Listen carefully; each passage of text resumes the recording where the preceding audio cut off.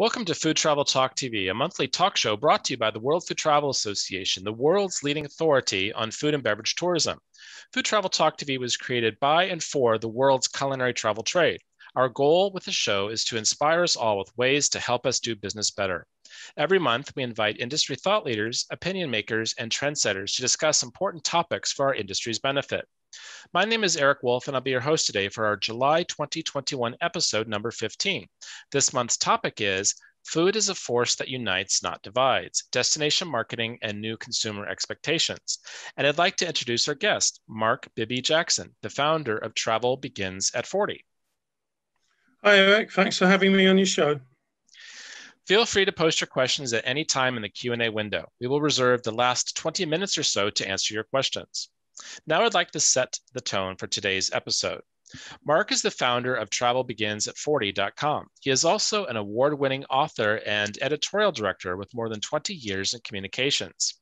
Some of his more noteworthy achievements include establishing the first successful food, travel, and lifestyle magazine in Cambodia and winning the National Award in Cambodia for the best self published book and best Asian cuisine book at the hmm. Gourmand World Cookbook Awards in 2016. Mark's current project, Travel Begins at 40, is a website aimed at the independent mind, mature, and empathetic traveler with the view that life and travel don't truly begin until 40 years old. The website features articles from travel writing experts who share their best and worst travel experiences with you to help nurture your next adventure. Welcome, Mark. Hi, Erik. So why 40? What happened in your life or career that that made this age the foundation for your your current brand and project? Yeah, at 40, I was thinking about that. Um, at 40, I, I, I, moved as an expat, really. I moved to Vietnam. So I, I, worked as a VSO volunteer there for a couple of years, uh, teaching at the Institute for International Relations in Hanoi. So that was I was 39. So 39, 40 was a big change for me. But the website, I was a bit older when I set up the, the website. So it's it's not just purely about my travel experiences or anything like that. It's not a personal blog, it's a travel website. Um, and it was um, it was when I was in Nepal. I was on a bloggers convention in Kathmandu, which if anybody has been to Kathmandu, they know how wonderful a place it was. And I was surrounded by all these bloggers and listening to everybody's tales. And I thought, yeah, why not set up a, a website for the 40 plus traveler? And the idea is really to be specific for um, for that age group and the, the, fact that when people travel when they get a bit older when they get in their 40s and 50s they they, they travel in a different way. You, you, you don't really want to have your backpack any longer. You definitely want to have wheels on it rather than do your back in like i have and things like that. You maybe want a little bit more luxury and you you probably want to take a bit more time over your travel. You don't really want to rush it quite so much so certain things I think change when you get in your 40s and 50s, and really that was the idea for the website to sort of to, to provide something for that market.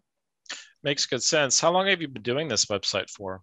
I'll be giving away my age then, I think. Probably. You would be, yes. Uh, no, I, I've been doing it for about three, four years. Um, okay. I'm really bad on years, so I do apologize. If I contradict myself um, with years, and that's just because I get confused by years. All right. Well, I look through your your um, your websites and your LinkedIn profile reveals a strong interest in Southeast Asia. What captivated your interest there? Yeah, well, I, I first travelled there when I was well, I, actually in '92 was my first travel to Southeast Asia, but that's very brief. Then '94, I went the traditional British backpack, you know, travel around the world. In my case, it, it sort of got to Sydney and, and came back rather than going over the Pacific. But I was in uh, Southeast Asia for a few months there and then I went back in in well, no, was it 2004? Could be the right year, might not be the right year. Um, and as a volunteer, as I mentioned before, uh, and and I, I stayed um, largely because of the people, a bit because of the food, uh, and a bit because it, it gave me a great opportunity to pursue what I always wanted to do, which was to write. Uh, I think one of the great opportunities you have for, for traveling and for being an expat is that you can actually pursue your dreams. You, you don't have to do what you feel you have to do when you're back in, in the UK or America or Europe, wherever you are. So um, it, it, certainly does give you opportunities. And and I I you know I became a writer, and I'd never been a writer before.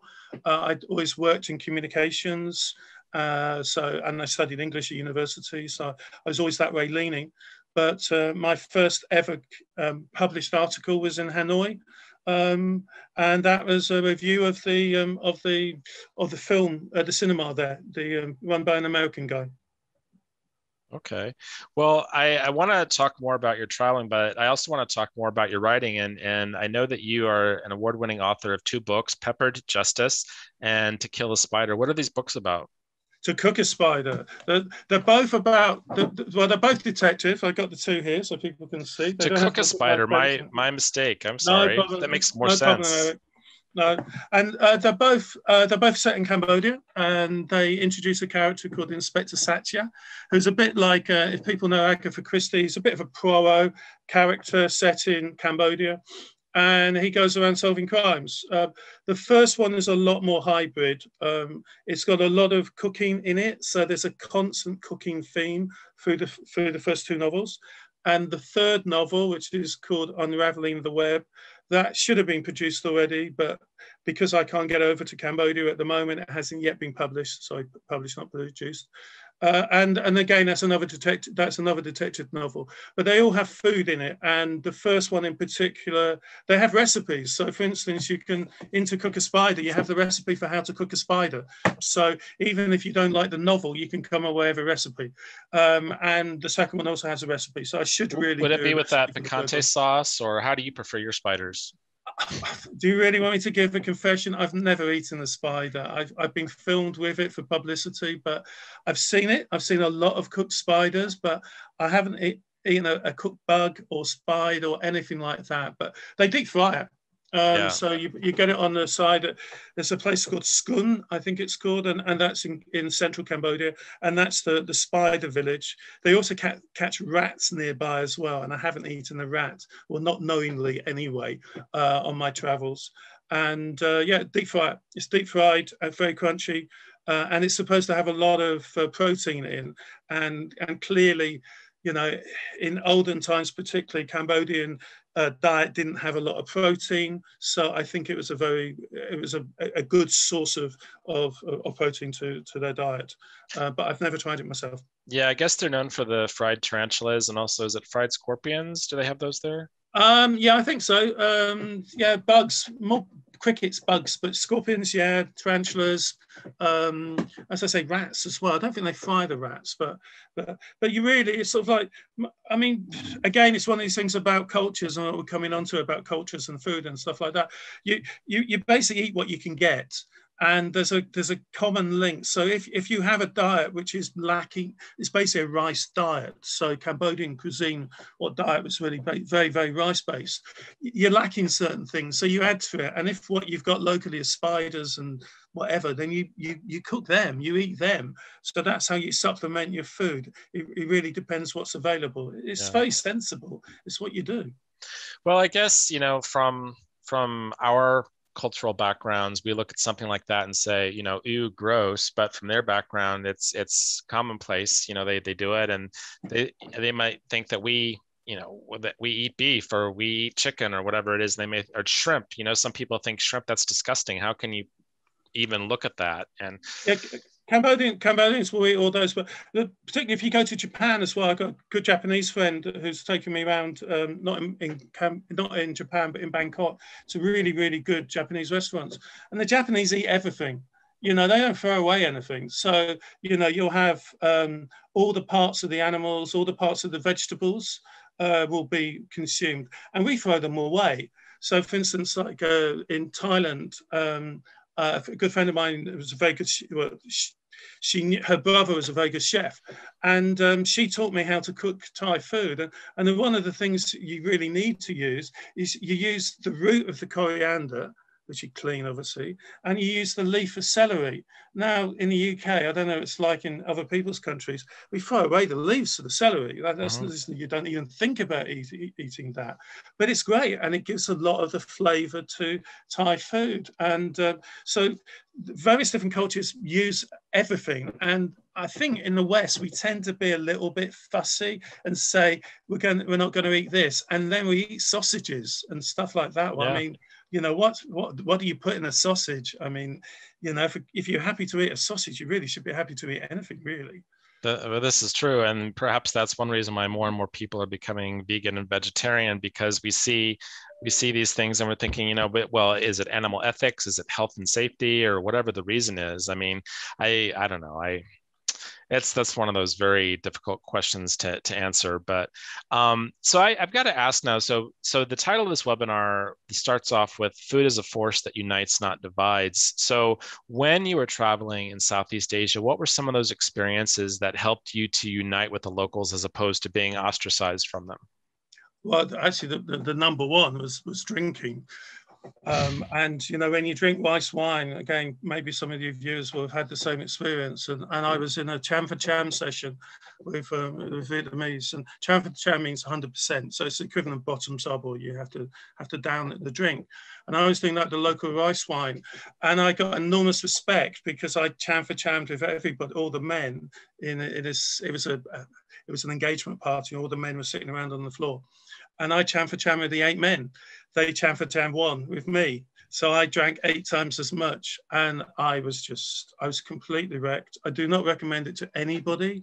Uh, I felt awful the following day, but I managed to walk out of the room. And that gave me undying respect from the people. And the following day when they saw me, I only had to have one drink at lunchtime and that was disgusting.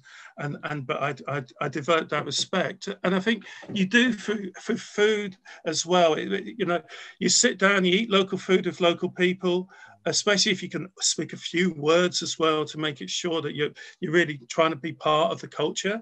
Uh, and and you you just you learn so much more. Um, you learn so much about their culture but you also learn so much about the, the shared culture you know i mean? In, in in the uk it always used to be the thing the test of whether you were a good guy or not is whether you stood your and that was always the test. So you went into a, a bar, and you could tell the people you, you, the good guys from the bad guys by did they did they buy their own drinks or did they just sponge drinks off you? So again, it's all this part of the culture. So what's the difference between us having to sit around and cham for cham and having to buy your drinks at the you around the drinks at the bar? There, there's so many similarities if you look at it. And and one of the problems I have with travel writing as a as a profession um, is that we, we, look for the differences far too much. You know, the, the whole basis of travel writing really from ever has been the other. So you, it's the mystery of the Orient or whatever, that you, you look for the other, the differences between us and them um, in travel. And that's what people are supposed to really, really enjoy. And I think we should be also looking for the we. I mean, I'm not saying you, you, you ignore the fact there's some differences. Obviously, there's some differences, but there's a lot in common. So I think there's a lot of the we in, in travel and, and, and it should be. And I think food is a great way of, of finding that out. Mm. Well, it is it is true. In tourism, we know that people travel for what's different as much as what is similar to to us on our own. I mean, there's a reason why so many Americans love to go to the UK because it's you know the language. It's you know we came from the UK 200 years ago, 250 years ago, so we we get your culture largely, right? And so that I think is a is an example of a connection. There's you know look at uh, French former French colonies. They like to to go back to France because it's it's familiar with them. Um, Definitely, and, and it goes the other way around. And and like for, instance in Vietnam, so much of the actual food thing is, is, is coming from from the French. Some of the words like the, uh, French bread. I apologize to all French people listening. Is pan, and the and the and the Vietnamese is banh mi. So it's it's it's pan mi. You know that's that's the Vietnamese for bread. Um, the Vietnamese word for menu is menu. I mean, it's just because they they inherited so much um, and they adapted the way that they they ate, um, particularly this is particularly in Hanoi, uh, mm-hmm. from the way that the French and the French influence. So it, go, it goes both ways, but but definitely there's a lot of similarities between it, you know. And and as you say, the British and Americans are very very similar, apart from in their sense of humour this is true. Americans don't get humor, and although I've always gotten British humor, and and never, I will, I I was living in the UK for the past couple of years, but even before that, I was always much more aligned with British humor. And you could have an American comedian on, and the Americans in the room would be laughing their heads off and I'd be sitting there with a blank face. I just wouldn't understand why they would find it so funny, you know? Uh-huh. I'm afraid I'm the, I'm the same myself. I'm a, yeah. little, I'm a little bit of a snob on British humour, but um, but but I think we do have a fine tradition in it. You do, yeah. British definitely have a good sense of humor. Well, let's talk a little bit about slow food, uh, not slow food, slow travel. And mm-hmm. that is, I mean, everyone has heard of slow food, but what is really slow travel? And what role would you say that food plays in slow travel? I, I, think it's two, two, two elements that it plays, but slow travel is basically is, is, slow travel. It's about taking your time in a destination. So I was I had a, an interview with uh, a good friend of mine, William Neymeyer, who, who runs Kiri Travel, and the standard Indochina trip before COVID, obviously there's no trip at all, but before COVID, as you basically did 21 days in, uh, you had 21 days or 14 days. You did as many countries as you could. You might even try to get China in there as well, but you know, you do Thailand, Cambodia, see Angkor Wat, go to Hanoi, Vietnam, go down some Cu Chi tunnels and try to bung as much as possible, four countries in, mm. in 14 days maybe. And, and that's, you, you, you, get nothing, well, you don't get nothing out of it, or, um, you, you, but you get very little out of it because you, you, you're not going to understand the culture as, as well as if you spend a bit of time and and you, are just you're going to be shattered as, as well to be perfectly honest but yeah. the, the slower you take the more you understand the more you try to experience eating the way that people eat but living the way they eat um, the way they live the more you understand about it again in, in hanoi um, I was my first job and I was working there. The, the boss took us all out for a dinner. So that's the first thing. The boss takes everybody out for a dinner you know, and the women always end up paying the money. It's a, it used to be like that. It might have changed now, so it's quite sexist. Um, the boss was paying, but the women calculated the, the money. And, and so what then happened was that we, we sat down for our meal, and our meal was a fish. It was one fish between about 12 of us. And it started off, it had the, the tasty bits at the beginning of the, of, uh, uh, the tasty bits of the fish at the beginning. And we ended up always rice at the end of the meal with a broth and, uh, uh, and vegetables and and fruit to, to, to, right at the end. So you had all these layers, you know, in, in, in, the courses. And I think from that, you really start to understand something about Vietnamese culture. You really mm. understand something about the life. Whereas if you if you did the normal rushing through, you'd have a bowl of pho somewhere, which wouldn't taste like normal pho because it'd be or it'd be served properly. You could see through it. If, if, if you can see through a pho, it's not a pho. It has to have lots of meat in the bottom of it. You know, it's a it's a big meaty stocky thing.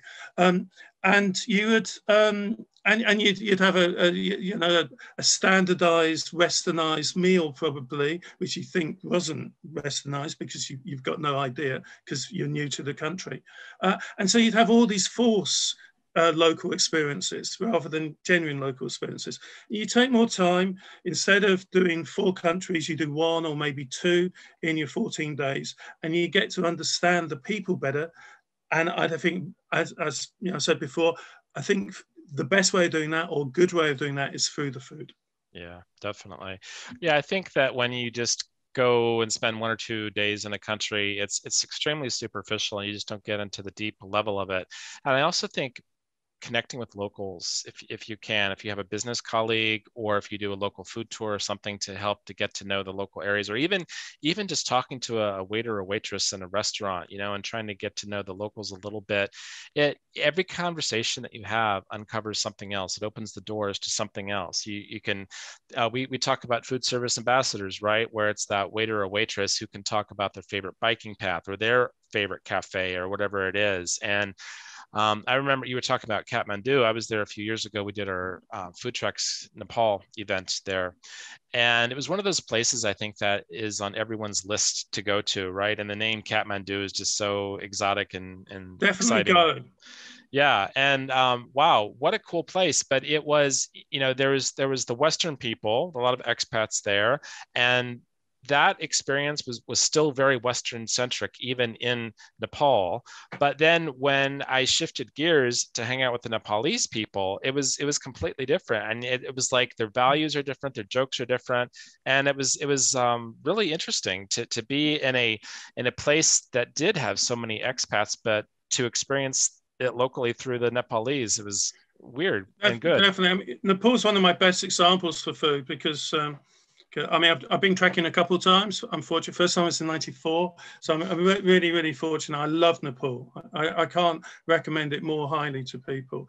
But I love dal bhat. I just, which is the standard street food which everybody has. So you have veg, um, you have a dal, so you have dal lentil, you have a mm-hmm. vegetable curry, uh, you have pickles, uh, you have rice, and it's non-ending. Yeah, you can keep on refilling it and refilling it and refilling it.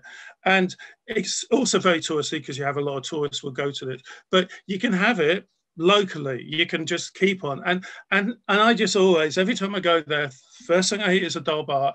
And I always say to everybody, I love dal bhat. And then I always come back and give you more and give you more. And I'll eat more and more and more and more. And I love it.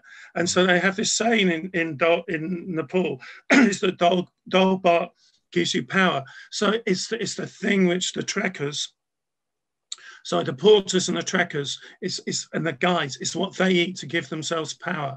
Mm. and then you get the Westerners who will go for pizza or something like that. And and pizza, and you can get pizza anywhere. I mean, why on earth would you want to get pizza in Nepal? Yeah. I've never understood that. So so try the local food try it with the local people, as you say, and you just have a completely different experience. But you've got to allow, you, you've, you've also got to be able to go out of your comfort zone a little bit. I mean, I've had snake wine in, in on the street in, in Vietnam, and I don't think many people would be, be too happy in doing that. So, snake you, you, wine. Yeah, you, they, I, I, don't want to describe it because it would, it would put people off, but but you get that. It's basically from the blood of the snake, and and so most people wouldn't want to do that. But but if you're doing things like that, you really do get uh, a genuine experience of what life is like for the locals, and they open up more to you. You know, they will give you more of their experiences, their life. They will tell you about you know why they eat this way how it started and and you'll get to know the people mm-hmm. far better than if you if you just eat whatever's you know you go on some trip or tour and it, it's you just eat the recommended food. Having said there's some excellent tour companies out there. Speaking of nepal and you were talking about people going there and, and looking for western food are you familiar with raj gyawali from social tours there? He also owns the hub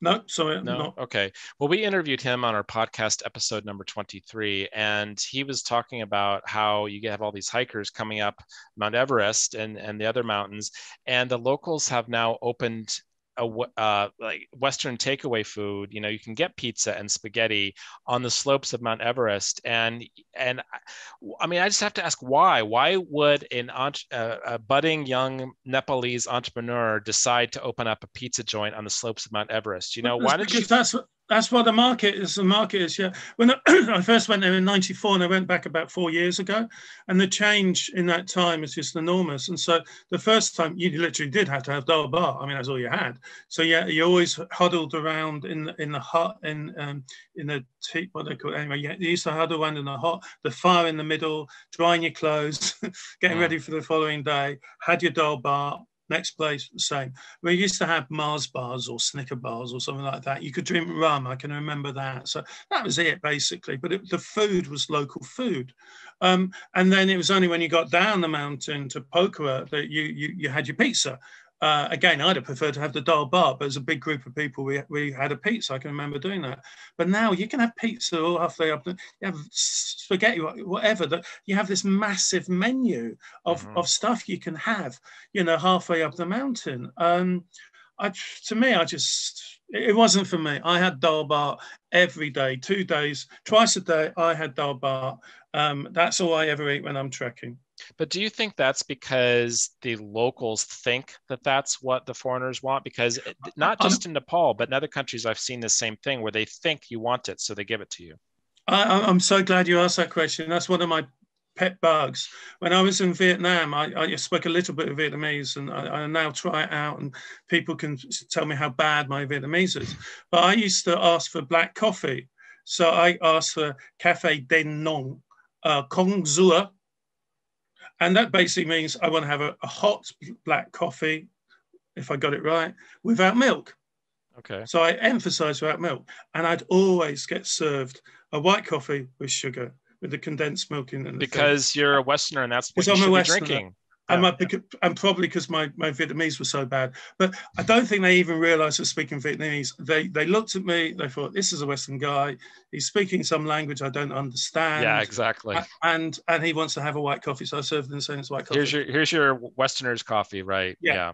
I'm sure that's what happened. I don't blame him or them. I don't blame them at all. That happened to me on numerous occasions. Yeah. Um, and then when I was in in uh, Thailand, or one of my recent trips to Thailand, I went to this I can't remember the name of the resort, thankfully, because it was a horrible place where the local people didn't live. I mean, there was there was no local little resort. There was no local little cafe. I couldn't even find a local market. So it was nothing like anywhere else I'd been in in, in Thailand before.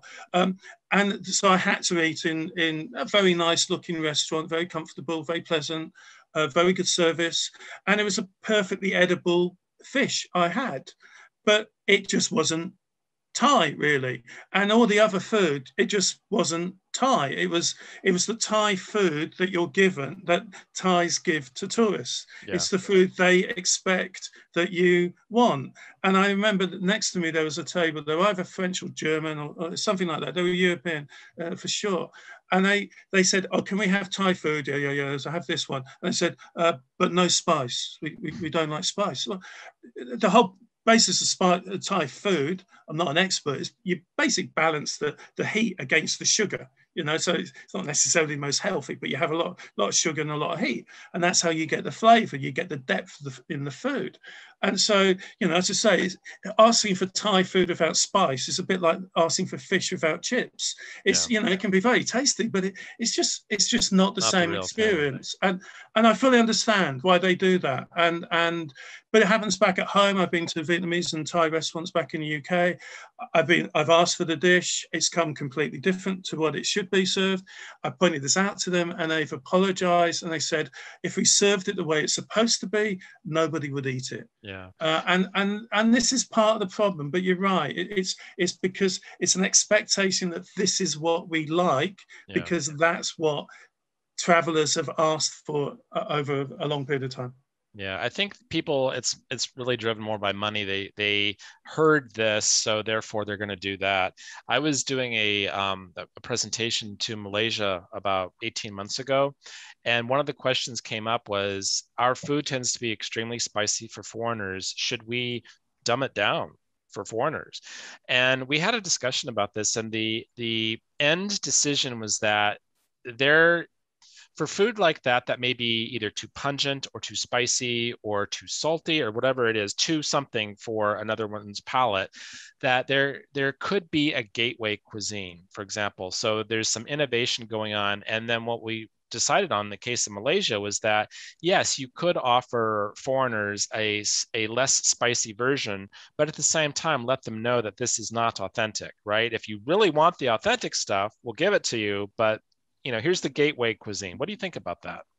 Um, well, first of all, I think there's certain dishes in, in you can have in Malaysia which aren't at all spicy, you mm. know, so you can have them all, you know, they're, they're not all. I love Malaysian food, Malay cuisine. I actually adore. I think Malaysia is actually the best country for, for food in Southeast Asia. Personally, Thais will hate me for saying that, and Vietnamese will as well. But I like I Indonesia love, myself, which is very uh, okay. similar to Malaysia. You're yeah. a gado gado guy, but I I just I'm I love love Malay food, but um but yeah, yeah, I, I suppose yes. It, there's an argument for it as long as you also serve it properly as well. Mm. And uh, for me particularly, you know, I I have to explain to people I like it the way the local way is, and and there's ways you can dim it down. Uh, you know, so like in Thailand, the reason why you, you serve vegetables on the side is if you bite into something a bit too too hot, don't drink down a bottle of beer or water dig into the vegetables. That cucumber or carrot or bean will, will take away the heat. So it's things like that. You know, not all Thai people love hot, spicy food. You know, I mean, my Thai friends, to be honest, I, I preferred spicier food than them. Um, and so when we when we go out for meals, my good friend O always has to say, you know, in Thai, she always explains to him, no, no, he likes it the Thai way. Honestly, give it him, give him the Thai food. But yeah, I, I think you probably can. You can have a you can have a star thing of saying, you know, do you want to have it the local way or do you want to have it for the for the tourists? Um, yeah. There are some extremes to it. I mean, I would if you ever go to Laos and you want to have the the, the clam soup they have, it's so spicy. I mean, I just, I don't, think there's hardly anybody in the world I think can actually could eat it outside. So there are such extremes to heat as well. But, but I think, yeah, I think you should have it the local, you should have it the local way. And if you're not serving a local way, yeah, why not? Gateway food, whatever you want to call it, that, that makes sense to me. Um, and, and, you know, I suppose you get a little bit of the flavor of it that way. Um, yeah.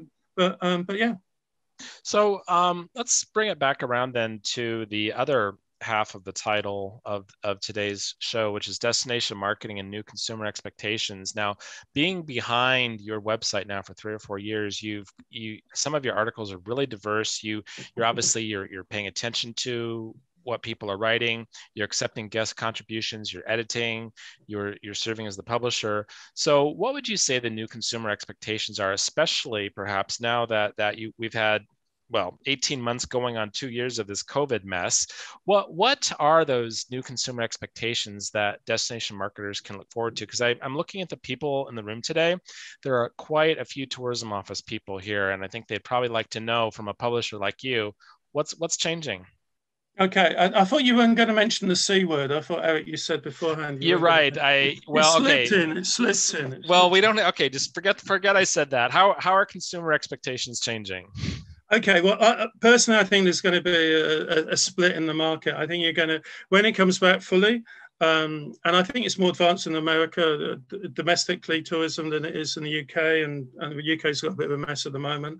But I think it will come back in two ways. You're going to have those people who are going to go for the cheap holidays, would just want to have the cheap holidays. So they'll go for the cheapest flights, the cheapest hotels, the cheapest whatever.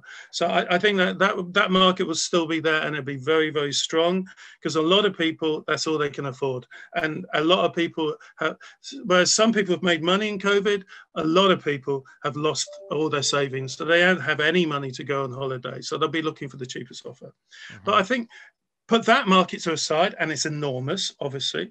I think there's going to be another market. And I think the new luxury, the new thing, whatever people, it's not really new.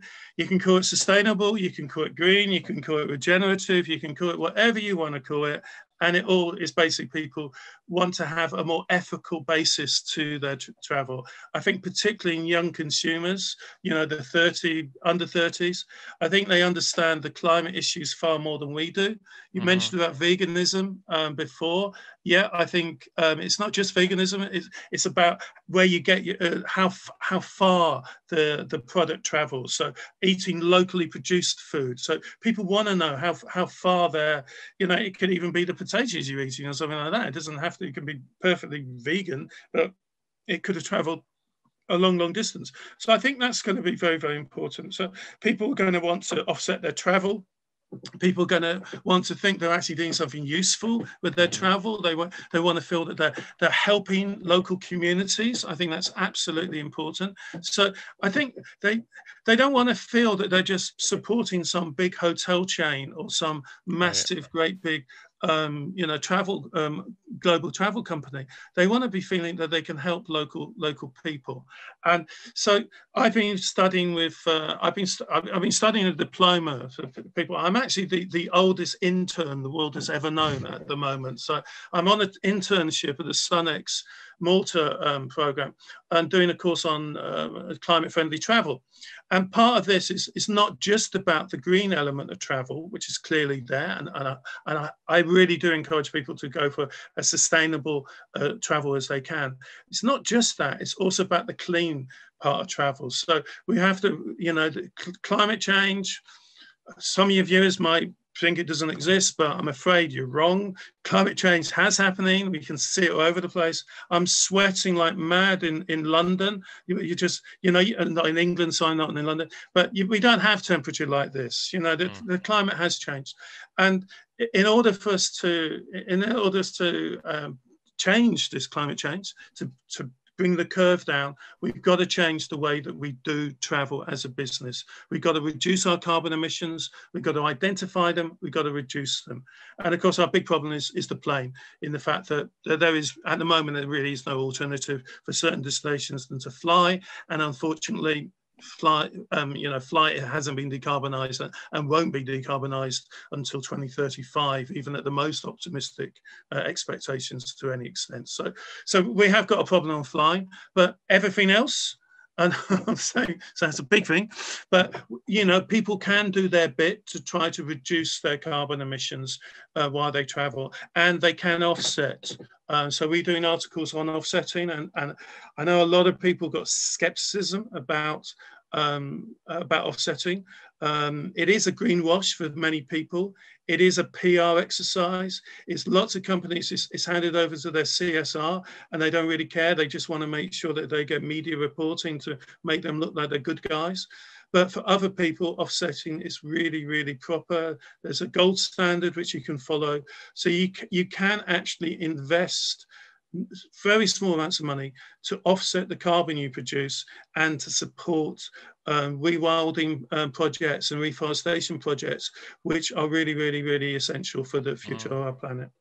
Mm, indeed, you know it's um it's interesting to hear you say these things. There had already been um, a strong momentum momentum towards responsible tourism. Yep and there's you know responsible tourism network and all these organizations out there that handle that and in fact we recently signed a partnership with ecostars based in madrid which certifies hotels uh, their their um, sustainability initiatives but we're working with them to develop a food and beverage uh, sustainability assessment for um, hotels and restaurants and so on. But this this idea of responsible tourism is, is really the essence here. And I think that for us, sustainability is more passive.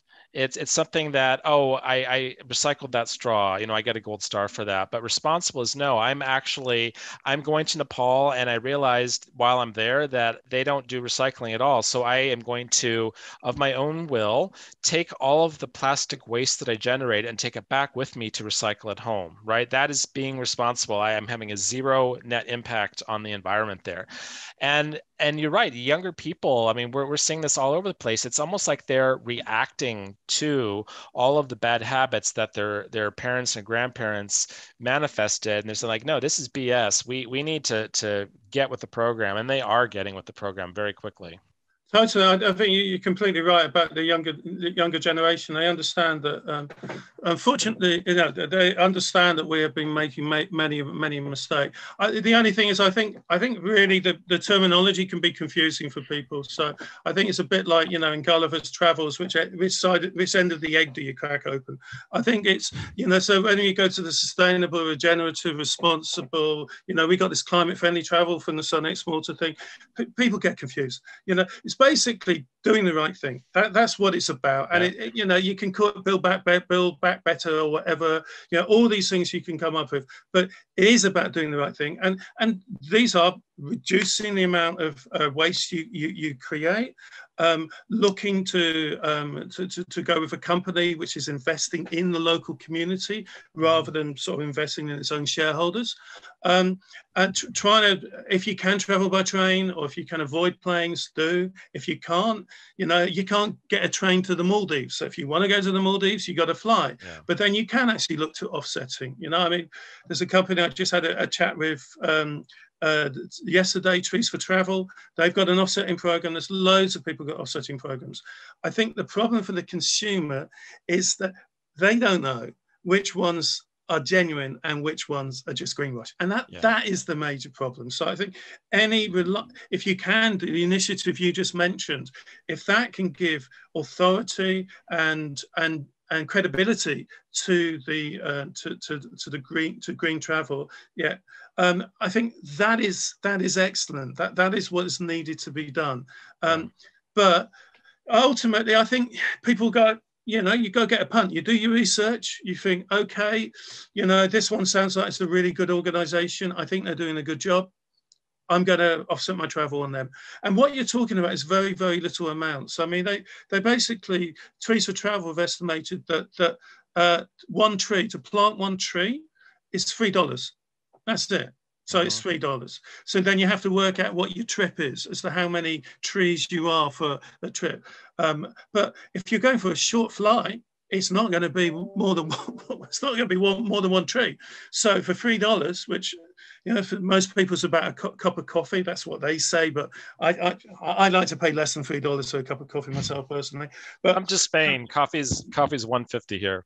Exactly, exactly. You know, that's I much prefer to have a, a, shot standing up at the bar. So again, it's another thing we're talking about the culture way you do things. Yeah. You know, Spain and Italy, very shared um, and the way you drink coffee. And when I lived in, in Italy for four months, yeah, the first thing you had to do, you always on your way into work, you went in, stood at the bar, not back your espresso, and that was the way you could you had the power to go into work. You know, Indeed. so similarities, but also you know differences with other things. But but I, th- I think fundamentally, do your research, try to work out which ones are doing it properly, which ones aren't, uh, and and make sure your behavior is as good as you can do. I mean, I've been drinking because my voice is going all the time and it's very hot here. I've been drinking out of one of these, which I'm, I'm sure most of the viewers will have something like it. So that reduces the amount of plastic, it reduces hopefully the amount of water being wasted, all these things. Just sure. do your bit.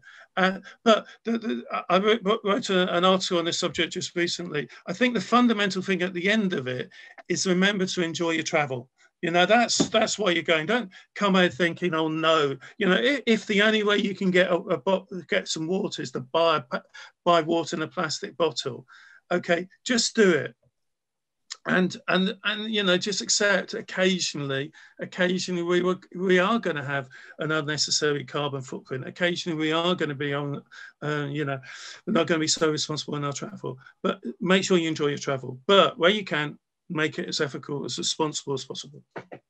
Um, I would like to suggest to people to go ahead and put your uh, comments and questions and thoughts in there uh, for Mark. And I noticed that we have a couple people in the room who are involved in the luxury market. So while people are thinking of their questions to ask you and writing them into the chat window, um, you know, you were talking about what people could do to be responsible and, and, the carbon offset and so on. Let's talk about the high end of the market. So that the people who are going to spend, you know, ten thousand dollars or euros on a trip and they don't think anything of it, right? You know, yes, my family of four and I are coming over, and okay, you want twelve thousand euros for that? Okay, let me wire it to you right now. Uh, what can a tour operator do, for example, to to help do the right thing, but for an audience that maybe is not as used to having to worry about things like recycling and so on. What, what are your advice for those high end type clients? Um, I would say you, you, try to clean up your act as much as possible. I mean, there will be certain people who want to use a private jet. I think, I guess they'll want to always use a private jet if they're that, that if they're that customer. I would suggest offset it you know, just put it in there. As I say, Trees for Travel, whoever else, you can offset the private jet. Now, it's not the best thing in the world, but if you offset it properly, that flight can help to reforest part of the Amazon jungle or wherever. Um, so it can be in the reforestry project. So you can do that. And if you if you put it to people as an option, then who's going to say who rich rich person rich enough to fly by private jet is going to say, oh no, I'm not prepared to pay hundred dollars to plant a few trees in in the Amazon. This is going to nullify my um, my uh, my carbon footprint. So I think you can do that. But I think also I, I honestly do think that you know responsibility is the new luxury. I think that's what people do. People like want that. to. I think people it's it's not just responsibility. It's about it's about getting closer to the community. So that so let's put the offsetting to the side. Let's put the carbon footprint to the side. But I think people get a far more rewarding experience by by by getting to know the people who are hosting them. And you know, you, I, I think the days of I want to stay in a five star resort with being pampered with all over the place and having servants serving me on whatever my breakfast on my balcony and stuff like that. You know, all that spoon feeding you themselves. Well, it was. I've I've done it a few times. Fortunately, I've never had to pay being a journalist, uh, and it can be great. Yeah, it can occasionally be great, fantastic, but it's it it's the same wherever you do it. It doesn't matter where you're doing in the world. The five star pampering experience is exactly the same. But if you were to go into an eco lodge in the middle of the Cambodian jungle, and you get to know the local people, or you like I was just stranded in Ecuador somewhere and you eat the local jungle food and you get again you get to experience you will come back with a far more enriching experience than the one mm. where you I mean, I went to a lovely resort. I went to a lovely place in central London and had a wonderful massage and had a London, wonderful spa experience. It's by the Air people, A I R E. Wonderful, just opened in Covent Garden. I could have that anywhere in the world basically. Well, I could have the same people in New York, they're in Spain. I could have had it in lots of different places, Copenhagen, but I could have similar products from similar organizations anywhere in the world. Um, but I can also get it in London. So why do you have to fly to some island in the Caribbean in order to be pampered when I can get it just by taking a tube and popping into central London? I mean, you know, it's, it's, yes, okay, if that's what you really want to do, do it.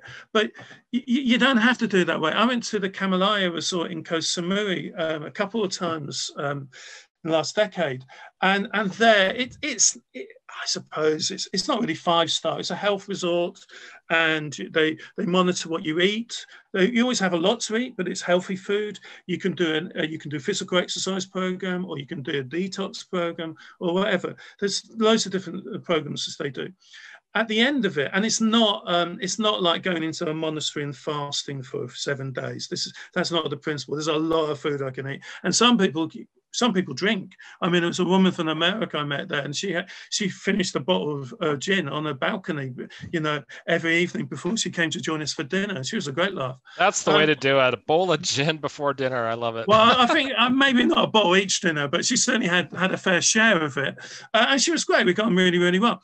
And um, but it, but that both times I've been there, I came I came back feeling so refreshed, so enlivened, so just felt wonderful. Particularly the first time, felt absolutely wonderful. My brain was fresh. I could write. I could work really, really well. Um, you can have so many different experiences which you can provide to clients which are wonderful and they don't have to be the, they don't have to be the, the pampered five star thing so i think local travel um, make it make sure that it benefits the local communities. People want to do this. People want to learning new skills. People want to learn skills, you know, on their holiday. So you can get the skills into there.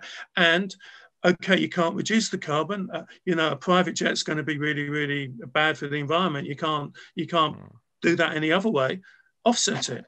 It's not the hmm. perfect way of doing it, but it's better to offset it than not to offset it. So, Mark, we've got a couple questions here now. And I, again, I encourage anyone who has questions to pop them into the chat there. The first one is Would you uh, comment on the kind of impact that Anthony Bourdain may have had uh, on Southeast Asian audiences? Well, on Southeast Asia, people in Southeast Asia, or, or people wanting to go to Southeast Asia. I, I think that the question is is more about you know he toured these countries, he did shows, he um, talked about the culinary cultures of these countries. What do you think the the net impact of his presence there was on these these people? I, I, well, I, I don't I don't know. I mean, I think generally, I think generally in culinary shows, it goes the other way around. It's it's it's it, the impact is more upon the uh, the people at home who is who, who are logging into the programs. I've been involved in setting up one, and I really there's very little there's very little interaction with the local people. Um, and I don't really know how much local people really watch the shows, to be perfectly honest. Um, so I think it's the other way around. And I think I, I won't speak specifically about any any any one um, anyone a food writer and presenter the and, and travel writer, but there are people who do properly and people who don't do properly. I, I, know there was one in Cambodia where a friend of mine was setting up the, the food show. Unfortunately, I can't remember the name of the person who was the who was the, the celebrity chef, um, because I might even mention his name. I can remember it was a guy, and I remember he was American. But he didn't even travel. He didn't even come over. He was on whatever you call it, the blue wall or whatever. So, so I was with the people. I helped um, put in contact with people to go to the local market to have these genuine um, uh, Cambodian experiences, and they were. They were done by you know, I suggested certain places like Cambodian friends who did a did the fixing and whatever, and so it was all it was all relatively genuine. But the presenter wasn't even in the country; he'd never even been to Cambodia. Mm. Hmm. So we have another question here. Do you find that people are doing more research into their trips regarding cuisine sources and the cultural significance prior to taking their trip? I think I think people doing more research full stop. Yeah, I think particularly now because lots of people got time on their hands, and I, and I think that's I think that's one of the pleasures which people have. I, I I actually tend to be a bit bad on this one. I tend to like going there pretty blind and then sort of you know immersing myself in the experience once I get there. So I'm not a massive researcher in advance, but for a lot of people, half the joy is about is about working out beforehand. And of course, TripAdvisor, social media, all these ones, you know, there's so much information you you can get uh, out there. Um, I would just sort of try to be a, you know, try to avoid the big guys because you know, I don't think you're going to get such a genuine um, actually, if you can go down to really local ones who you can find out they actually know the country a bit better yeah. rather than you know rather than TripAdvisor, which I'd be very very wary of personally. Um, yeah, I think it's great. I think if, that's what you like doing, if it gives you a great experience to understand more about the culture, the one thing I would say is when you get there, maybe you're going to be surprised and find out it's completely different to to to what you read up. Yeah. Uh, but again, that can be a, a great experience. Um, I went to, um, and, and, it can be. I mean, I went to El Salvador and Honduras uh, in 2019, and there in El Salvador, there's beautiful pupusas, and I was making a pupusa very, very, very badly. I was in our small group. I was definitely the worst person at making a pupusa, and it's great. You you find out about this now. Now, if I think it makes sense to do research. So find out if you can if you can go onto you know a course to make pupusas. You know, take you half an hour to do. To be perfectly honest, it's very very mm-hmm. quick unless you're as incompetent as I am, um, and you can really really enjoy the experience. So yeah, definitely do the research beforehand and enjoy your experience more. You know, in our association, we conduct food travel or research every so often and in our latest study, we looked at all the different tools that people use. And the use by food and beverage loving travelers of websites like TripAdvisor was not huge. And I think, you know, this just confirms what you were saying that for the mass traveler, they're going to go to TripAdvisor or, you know, Facebook whatever and and look at, at you know what they think they should be looking at right? And oh we're going to nepal so we're going to find out what to do on tripadvisor. But the food lovers we're explorers. So we're finding websites like yours. We're maybe going to lonely planet or rough guides or those types of resources or or um, our favorite uh, food bloggers or travel bloggers and reading what they have to say because they, they might be living there right or have a different perspective and getting really different, deeper quality information. And that's really those are some of the places where we're getting our information as food loving travelers. Yeah, I, I never I never use TripAdvisor apart from telephone numbers, to be honest, and website there addresses. It's pretty good for website addresses and telephone numbers. But um, the um, uh, beyond that, no. And part of the problem that I have is that I don't have I haven't got the vaguest idea who are the people who are reviewing these places.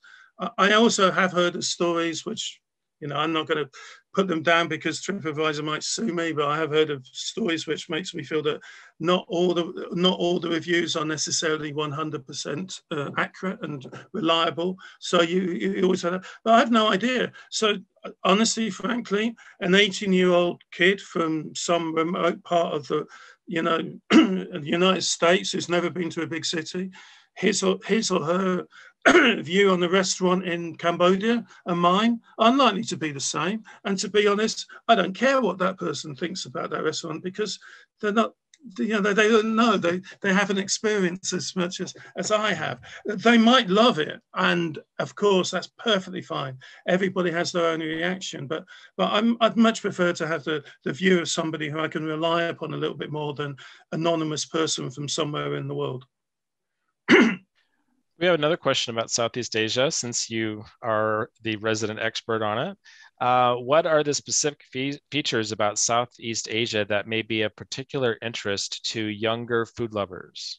Okay, um, well, one of the things is the bubble tea and stuff like that. If you're into desserts, they have they, they, they love having these desserts Um, I'm, I'm, I'm a bit more of a Western dessert fan myself, um, but they often have things like tapioca and, and stuff in there. So it has mm. this you know unusual consistency so i think i think that so the bubble tea definitely the the, the, the desserts you can get but it, it, varies from from different place to, to, to different place and you know you southeast asia is totally varied you know as Erik says he loves indonesian food i love malay food you know then it's completely different to what you get in the north of Vietnam.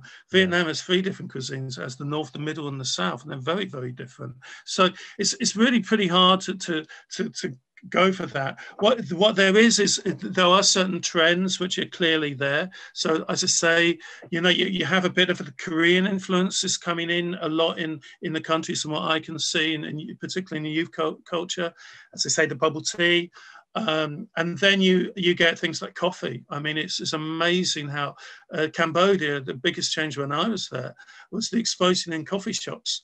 Uh, there's nothing at all uh, Cambodian about them, but so, so popular. So, and, and this is part of the thing which I haven't touched upon, is about sometimes you think of culture as being what happened 150 200 300 years ago. Culture is what's happening now at the moment.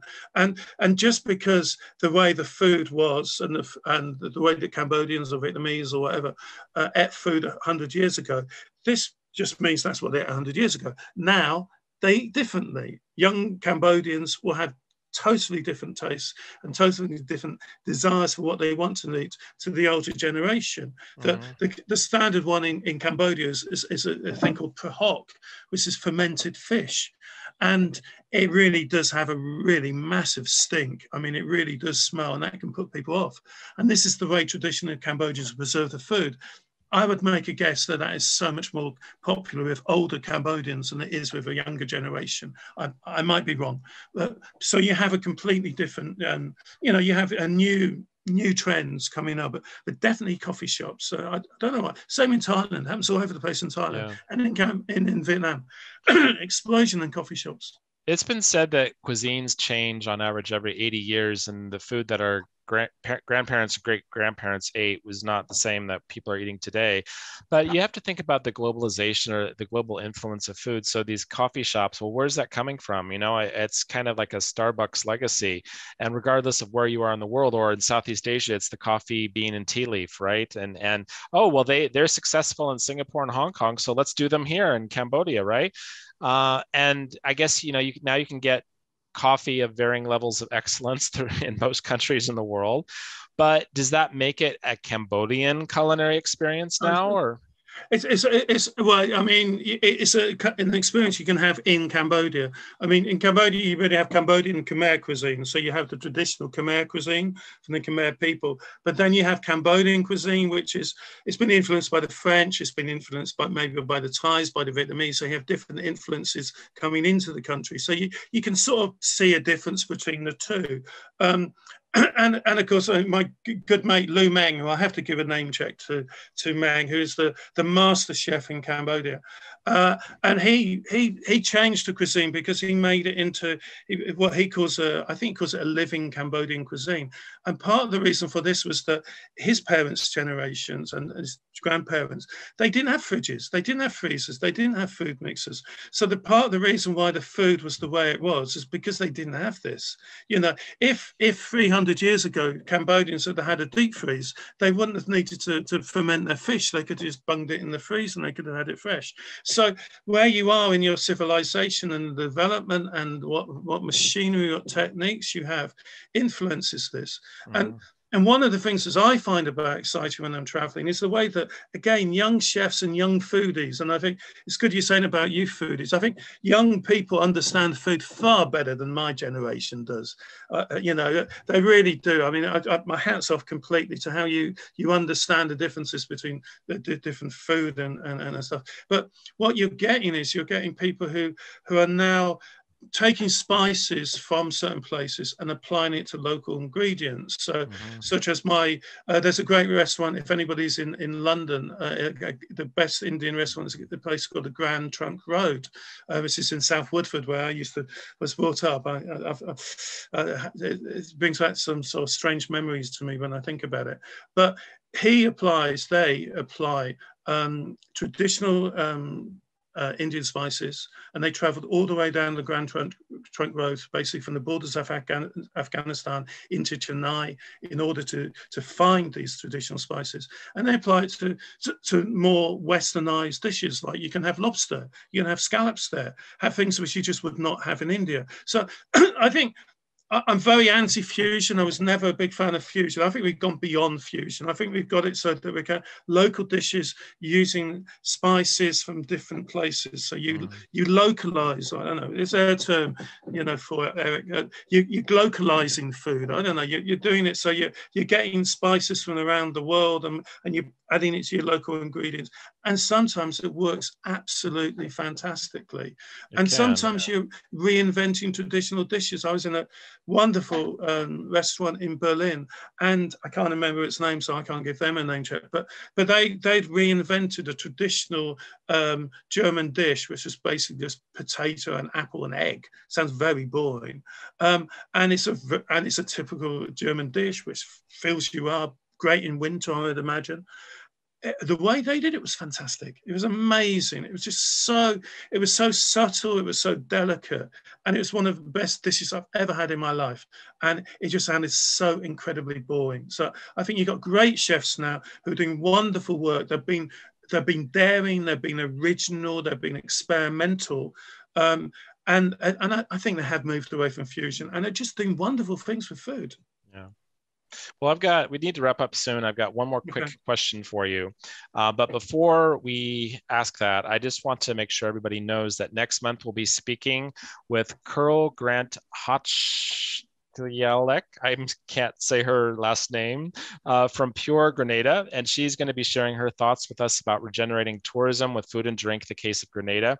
And next month's show will take place on Wednesday, August 18 at the usual 1600 London, UK time. Registration will go live in a couple of days. Mark, where does Bibby come from? Oh, uh, yeah, a simple one. Um, I was just about to say, at least I have an easy name to um, to pronounce. It's a family name. I mean, it's my full name is Mark James Bibby Jackson, so I've got got far too many names. Um, so it is, on my, it is on my birth certificate. It's not a nickname, um, and uh, for, I hate it. I, I hated the name Bibby as a child. I used to get teased at school like mad about it. I'm a big guy, but I still was teased, and um, and but when I started writing, when I moved to uh, Vietnam, as I mentioned before, uh, there, there, are so many Mark Jacksons in the world that you, you, you, just don't appear. You know, it doesn't matter. You know, nobody ever heard hear me. Um, but a good friend of mine suggested I start using the Bibby, and so I'm the only Mark Bibby Jackson in the world. So I can't hide, but at the same time, everybody can find out what I'm doing. Well, it's it's unique for sure, and I think it's it's great branding for yourself. Um, well, Mark, I am really excited to to have met you and to have listened to everything you had to say today. I know that you are now involved in a um, London starts at 40 website project as well. I'm really excited to have a look at that. I love London; it's one of my favorite cities on the planet. So hopefully, when I get back there next, I look forward to meeting you in person. Maybe we can have a, a coffee, one of those coffees. And, yeah, we can have it. Well, we can have Vietnamese coffee, of course. I mean, or we, we can have a bowl of gin gin. Yeah, or we can have gin is so so popular at the moment. That's another about the trends. I don't think gin's really got into um, Southeast Asia yet, but I know the expats they've opened up lots of gin bars and stuff like that. So you do get that. Oh, and another trend, of course, is there's a lot of bio. There's a lot of um, you know, there's a lot of green food being being produced, eco food in in Southeast Asia as well. So there's a lot more ethical uh, food in there. Yeah, well, Mark, thank you again for your time today. Uh, really thank pleasure you. meeting meeting you, and thank you everyone else for attending. We look forward to seeing you next month when we talk about Grenada. All right. Thanks again, everyone. Thank you. Enjoy you. your summers. Bye bye.